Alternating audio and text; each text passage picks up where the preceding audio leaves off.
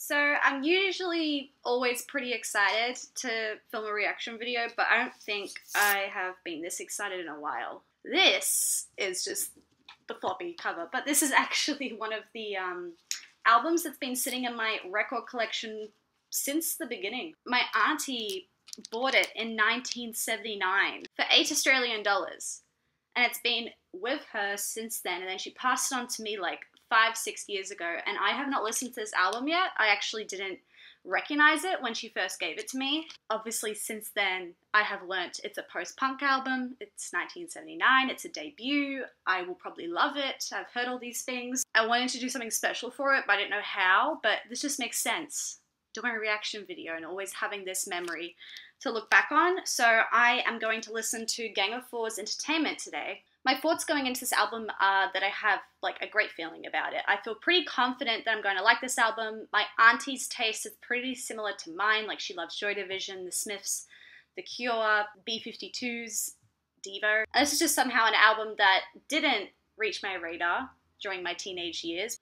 Post punk goodness. Post punk is my favorite genre, by the way, if you're wondering. Starting with bass. Whoa!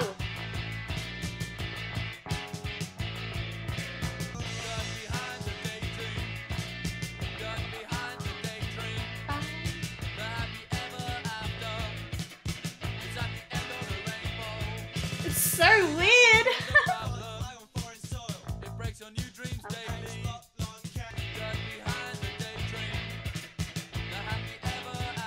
well, this guitar is so strange.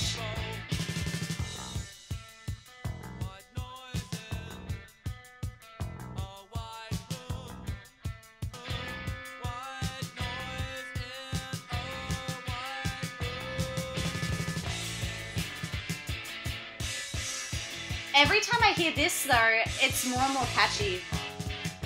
Like it hooks me. Just a little bit more. Oh,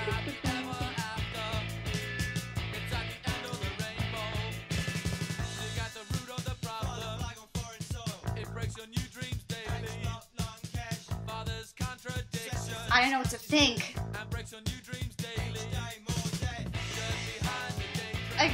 Love the chorus.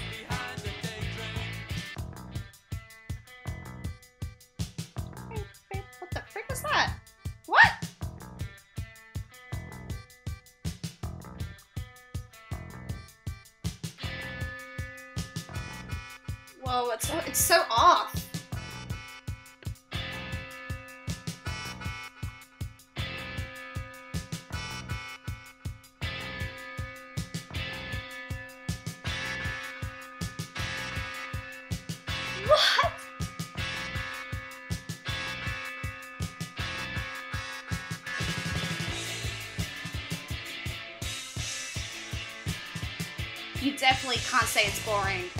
Like, this is so entertainment. Entertaining. Entertaining.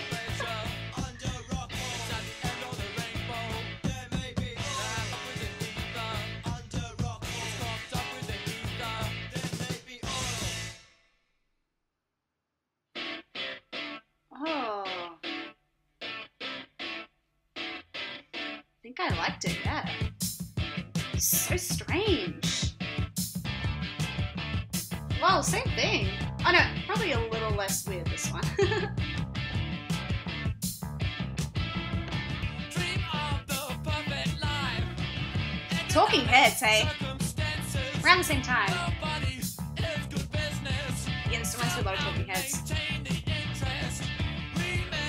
I like this too.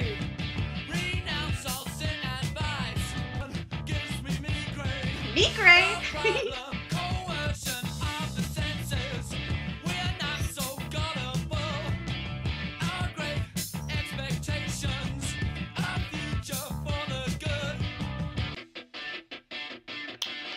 really warm bass there. The guitars are like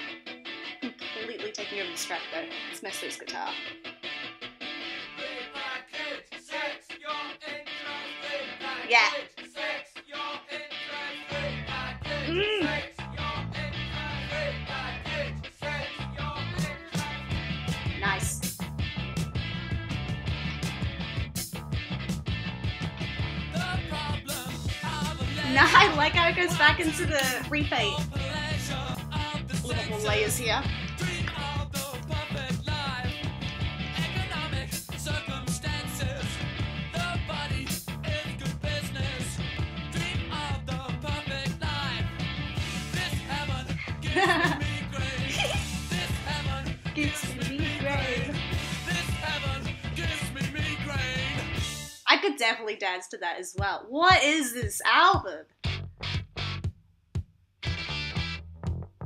Interesting.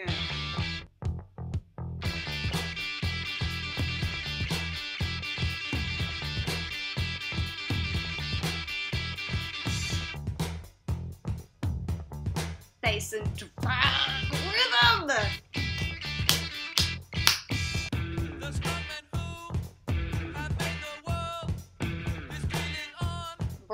This guitarist is so, crazy.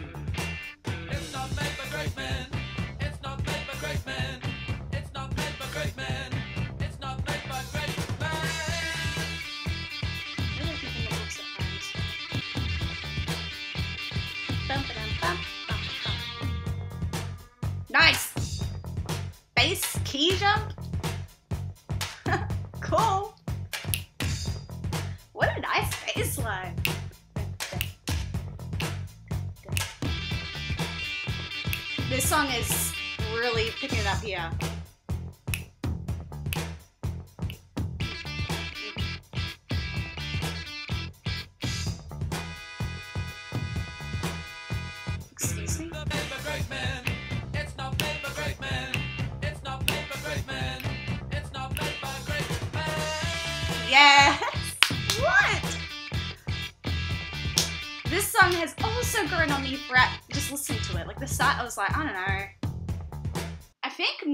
Men just scrapes in with a heart. It's interesting because I'm like, I can't stop moving, I can't stop dancing because it's so funky. The guitars is really out there and really strange and weird and going in like different directions. Angular. The guitars are really angular. Like there's a lot of jumps up and down and here and there. Like I think on the first track I had to like get used to it for a second because you know guitars aren't usually like that. Usually easy listening guitars the complete opposite. But once I'm in it, now I'm in it. The bass is so nice. The bass is so warm. I love bass. Like I already love bass, so give me good bass. We're good. Really like his lyrics. In Natural's not in it. That was interesting. It's really cynical. It's really dreary and critical of what's going on in the world, I guess. But I feel like I need to listen to more to like fully get a grasp on that. Okay, Damaged Goods is the next track. Let's give that a listen and go into the middle part of the album.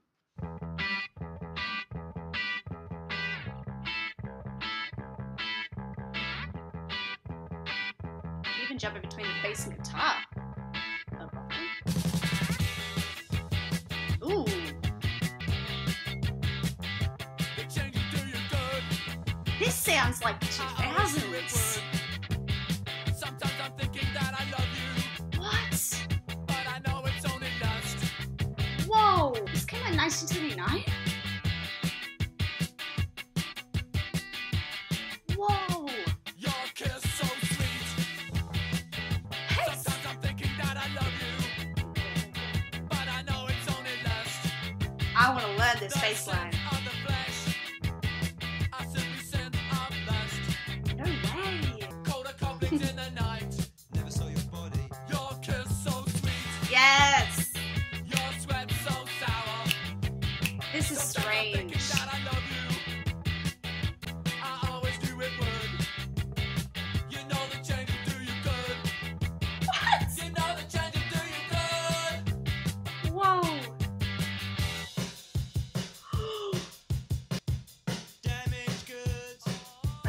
Love a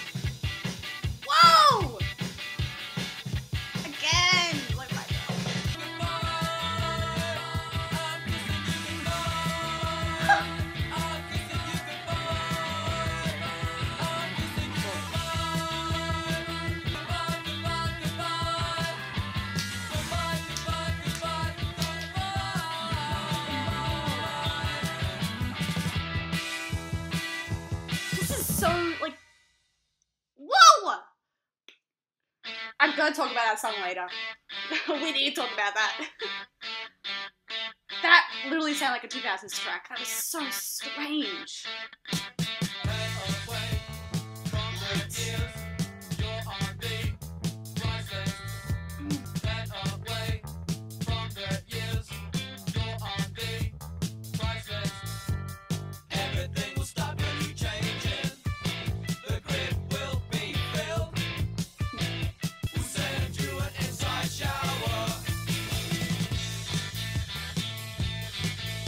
guitarist is so ahead of his time.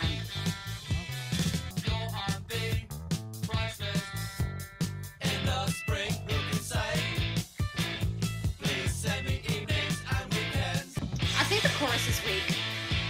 Oh, that's only because literally the rest of the song feels like it's 40 years, no, 30 years early.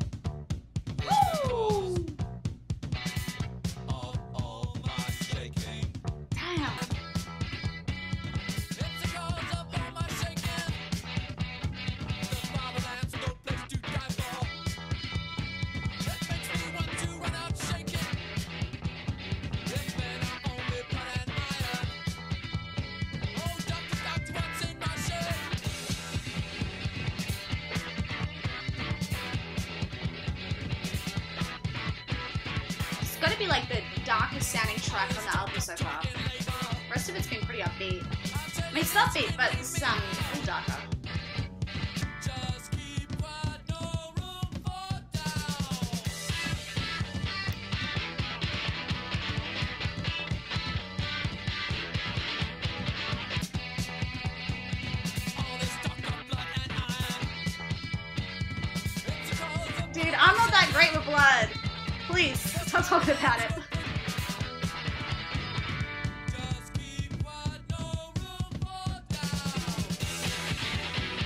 I want this song to go loud.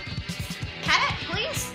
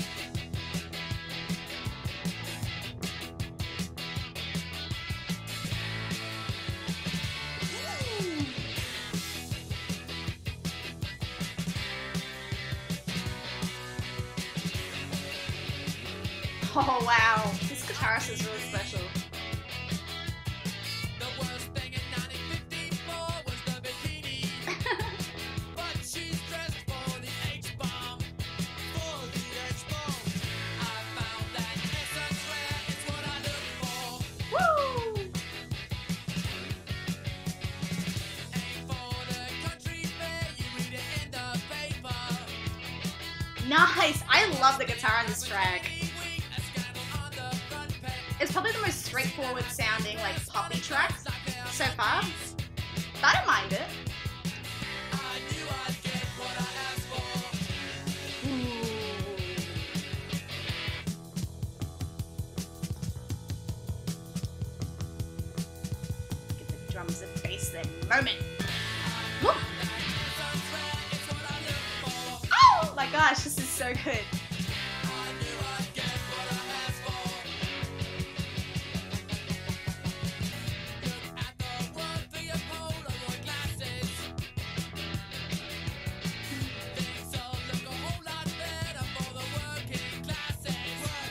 For.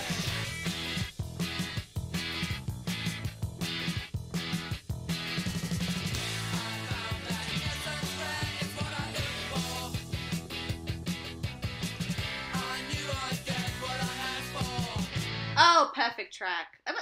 Really good. Really, really good! I enjoyed that track a lot. Really interesting set of tracks there. I didn't dislike any of them, but if I'm looking from track 4 through to track 7 here, Damaged Goods to Essence Rare, sort of the bulk I just listened to, the, t- the two middle, Return the Gift and Guns Before Butter, they didn't stand out to me as much. There were parts of the songs I really liked, but there were just other parts that I thought were a bit underwhelming. And also they're sandwiched in between like two of the best tracks on the album so far, Damaged Goods and I Found That Essence Rare, which, you know, it's hard to compete. But Damaged Goods, like, how do you follow that up? That track is not only amazing and the best track on the album so far, but could be put, I'll keep saying this, could literally take that song and place it into like a, I don't know, a block party album, like the late 2000s. Let me take you back a few decades because we've got some really good stuff that's pretty much the exact same thing going on. It's just insane. They were 30 years ahead of their time. It's it's crazy. So Damaged Goods was an amazing track. And then I found that Essence Rare was like, as I said, the most like poppy song on the album so far, but I actually think it worked well. It wasn't overly poppy, I didn't like it. I still thought it was catchy. I thought the guitar was great. But also I found that Essence Rare like, what is like these lyrics are so weird because they're quite political, obviously. Um, like they have their opinions, they're voicing them. They don't like capitalism. Not much is obvious. They probably uh, prefer more socialism, I'm guessing, just from like what I'm picking up in this track, um, like Marxism, socialism. This album, it feels very contemporary, like in the in the sound, but then also the lyrics still make sense.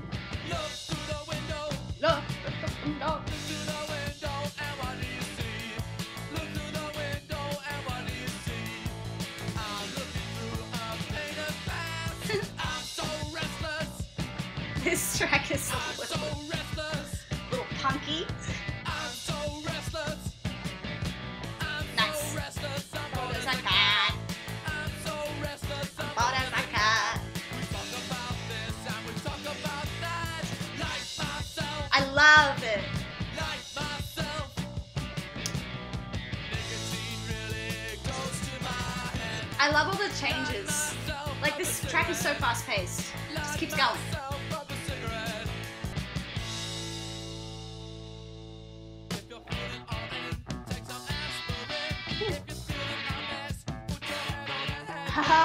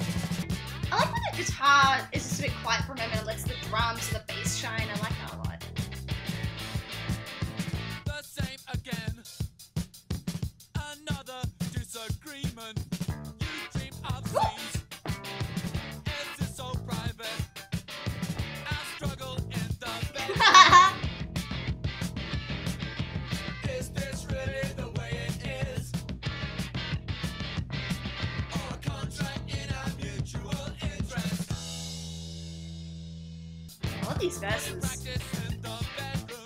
Starts off real quiet, builds up.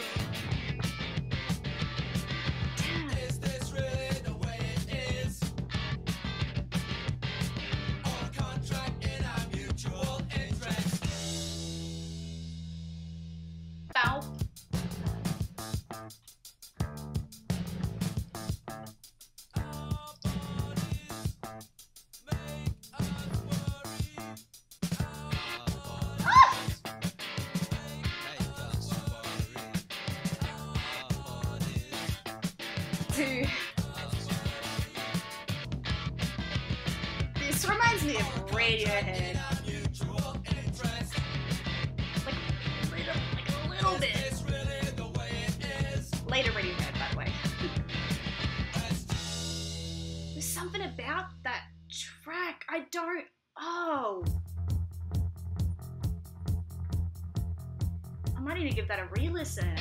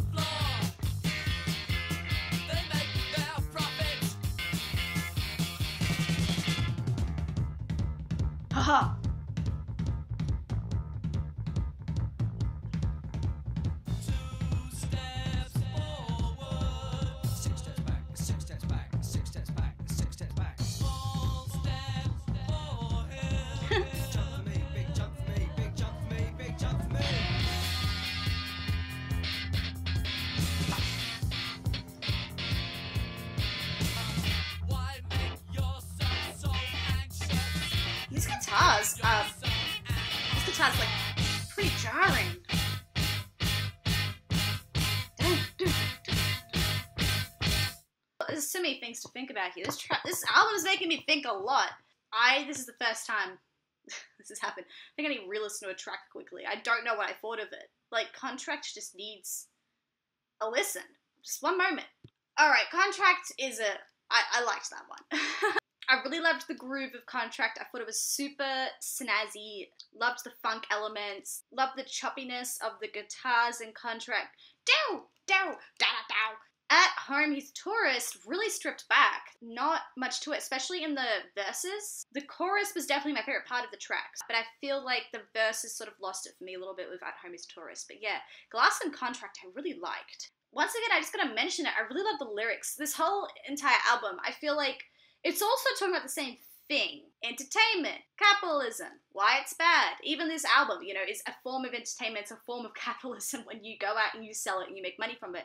It's interesting, they're labeling this album as a form of entertainment, but then also sort of like bashing the idea of entertainment and the idea of buying and consuming. It's this weird paradox this album's got going on, um, which I think also complements just the sound of it in general because everything sounds so off. Everything sounds like paradox in a weird way all the time. I like the concept of it a lot. Let's listen to the last two tracks 545 and Love Like Anthrax. Anthrax reminds me of like the metal band.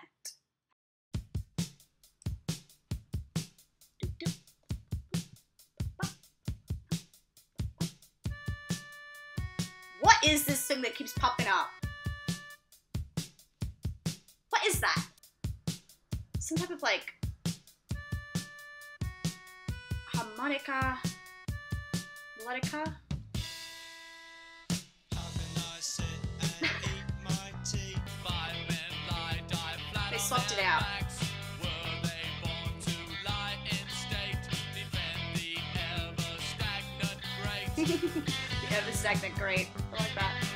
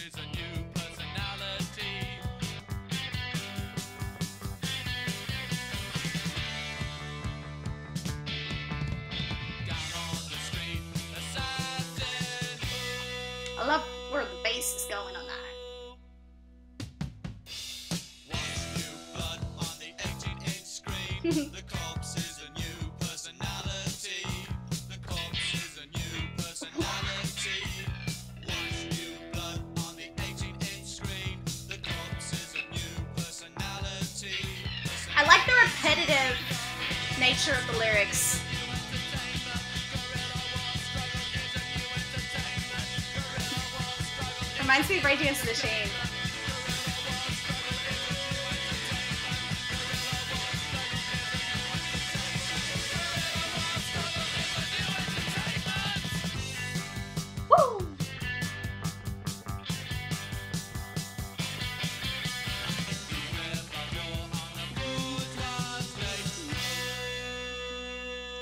Let it be known the bridge of that track. That was it. So I needed.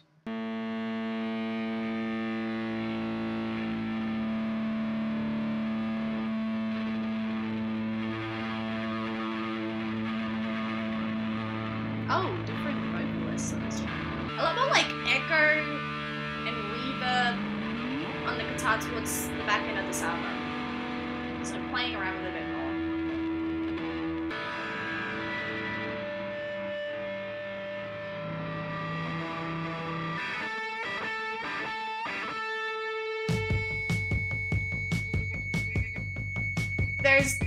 came in real nice. That was super clean.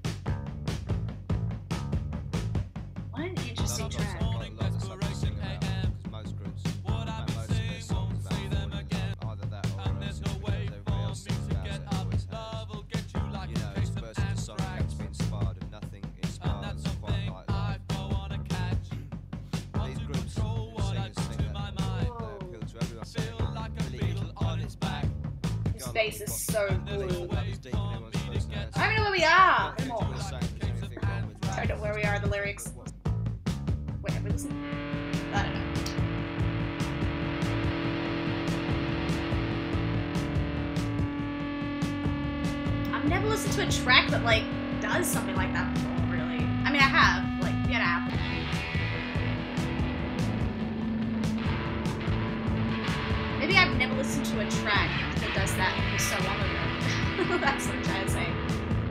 Low 2000s music does that.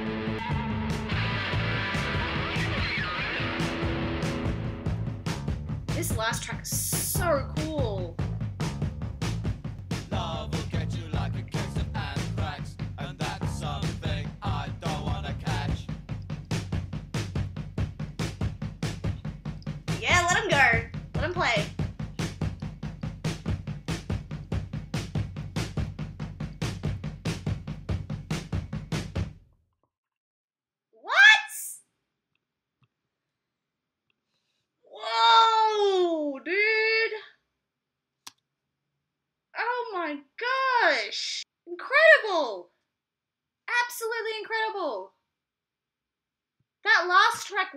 Really did it for me. On like so much more subdued and low key than the rest of the album on Love Like Anthrax, but I don't know, it did so many different things I just loved. I loved how noisy the guitar was, the start and then the bridge, the outro and the drums were so good, and then the verses were so cool as well. Just oh my gosh.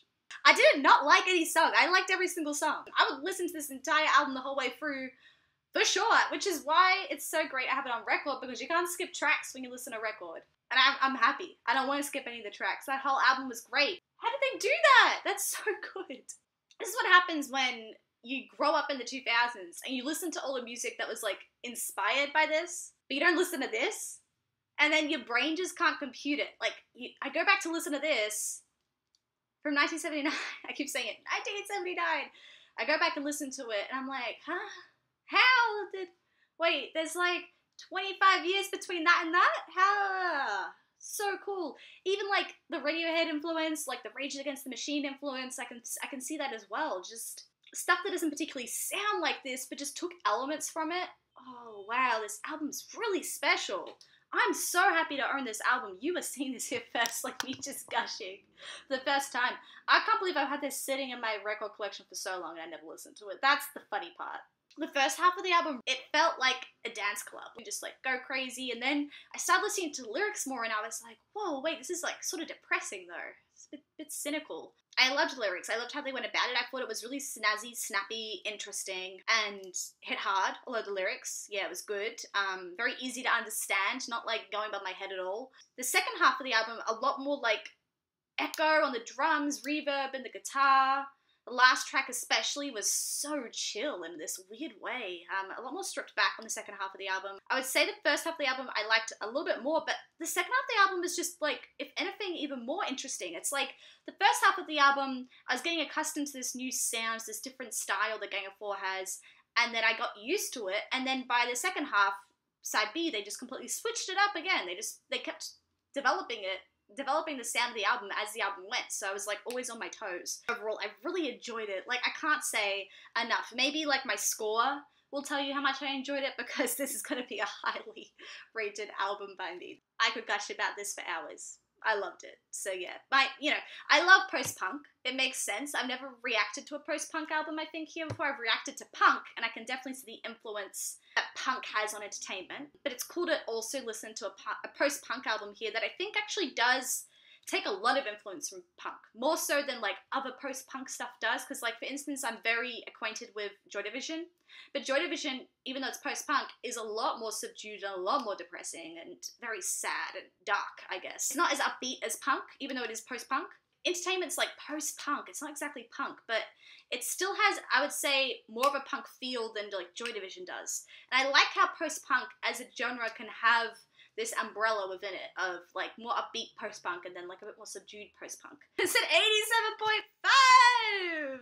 I mean, that's the highest rating I've given an album so far. This makes it seem like I'll be handing out 87.5s any day of the week, which is not the case. Me finding an album that I love this much doesn't happen every day of the week, so I am very happy. I'll be smiling the rest of the day.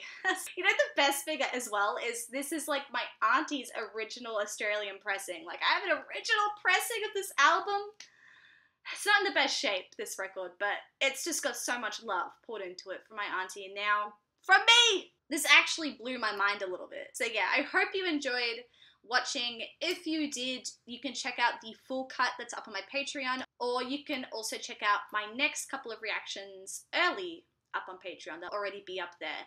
So, yeah, I hope you enjoyed this video. Bye bye. See you soon.